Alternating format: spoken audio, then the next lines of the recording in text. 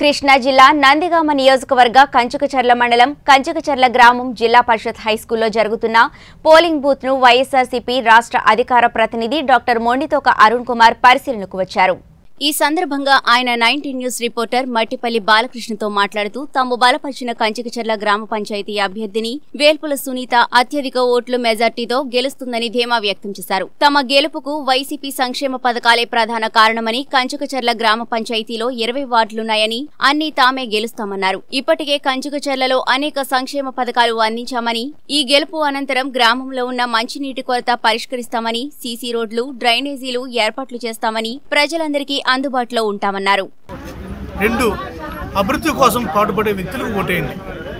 మూడు సంతలో బేరం పెట్టినట్టు ఈ అభ్యర్థిని ఈరోజు అవతల పార్టీ వాళ్ళు సంతలో బేరం పెట్టినప్పుడు బేరం పెట్టి ఎవరింత ఇస్తా ఏంటి ఇస్తా అని చెప్పే సంస్కృతిని వేడినాడండి. కంచిచాల గ్రామ ప్రజలు చాలా తెలివైన వాడు తప్పకుండా ఆ తెలివైన వ్యక్తులకి మంచి మంచిని కోరే వ్యక్తుల కోసం పాటుపడతారు. కంచికచర్లలో ఇరవై వార్డులు ఉన్నాయండి. ఈ ఇరవై వార్డుల్లో మీరు ఎన్ని కైవసం చేసుకోవాలనుకున్నారు? ఖచ్చితంగా ఇరవైకి ఇరవై వార్డులు మేము గెలవబోతున్నాం. తెలుగుదేశం పార్టీకి ఒక వార్డు కూడా ఉండదు.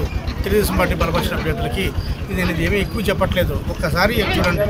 Ninety percent more than ninety percent మేము గెలవబోతున్నాం. అలానే సర్పంచ్ అభ్యర్థికి ఎన్ని ఓట్లు మెజార్టీ వస్తుంది అనుకున్నారు మూడు వేలు తక్కువ రాదండి. మెజార్టీ మాత్రమే. మెజార్టీ మూడు వేలు తక్కువ రాదు. రాసి పెట్టుకోండి. అలానే మీరు ఈ పట్టణ ప్రజలకు ఏం చెప్పాలనుకున్నారు మీ సందేశం. ప్రజలు చాలా చక్కగా ఉన్నారు బాగా సంతోషంగా ఓట్లేస్తున్నారు అభివృద్ధి కోసం ఓటేస్తున్నారు.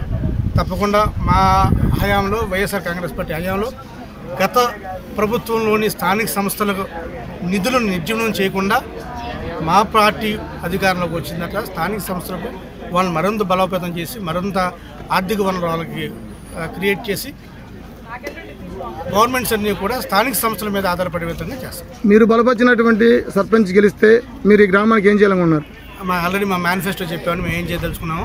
మేము ఆల్రెడీ ఒక పెద్ద మేనిఫెస్టో తయారు చేసాం మేము అధికారంలో రాకముందు ఏం చేసామో ఏం చెప్పామో అదే చేసాం అదేవిధంగా మేము పంచాయతీ వచ్చిన తర్వాత ఏం చేయబోతున్నాం అనేది మేము ఆల్రెడీ మేనిఫెస్టో చెప్పాం. ఆ మేనిఫెస్టో ప్రతి ప్రజలకి తెలిసింది.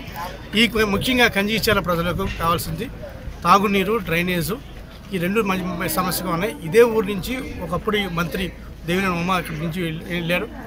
మరి ఆయన అన్ని సంవత్సరాల మంత్రిగా ఉండి ఈ రోజు ఇంతవరకు కూడా ఎక్కడా కూడా మంచినీటి సమస్య అనేది తీర్చలేదు. కానీ మేము అధికారంలోకి వచ్చిన తర్వాత ఒకసారి చూడండి కంజార్ ప్రజలందరం చూడండి.